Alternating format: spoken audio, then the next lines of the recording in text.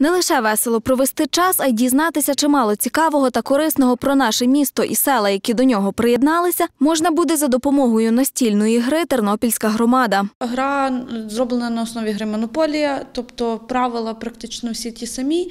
Е, єдине, що ми трошки змінили, наприклад, якщо це магазин, то це будуть філії магазину, а не будиночки. Якщо це фестиваль, то це будуть сцени фестивалю, можна розбудовувати в такому сенсі. Гра, розповідають її розробники, спрямована на те, аби стати ефективним інструментом інтеграції в наше місто мешканців населених пунктів, які нещодавно до нього приєдналися. Бачимо, що ті люди, які е, долучаються до громад об'єднаних, вони не завжди орієнтуються, які послуги, які переваги надає об'єднання.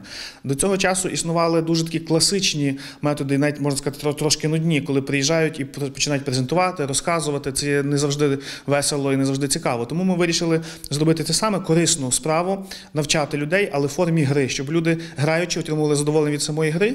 А як е, додатковий бонус знали про історію е, міста, про наші особливості, про електронні е, різноманітні сервіси і про інструменти громадської участі. Не оминули увагою і різні місцеві фішки. Молодь знають зупинку бурячок, але не знають, чому бурячок.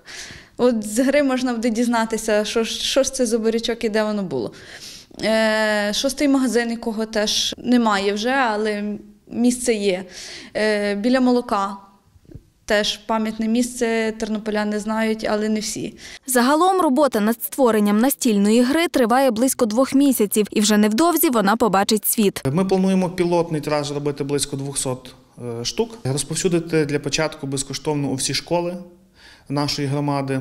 Е, Так само центр е, науки, е, молодіжний центр, молодіжна міська рада, активні громадські організації, тобто в ті структури, де збираються активні люди нашої громади, де вони зможуть зіграти цю гру. Якщо ж гра людям сподобається, можливо, випустять додатковий тираж.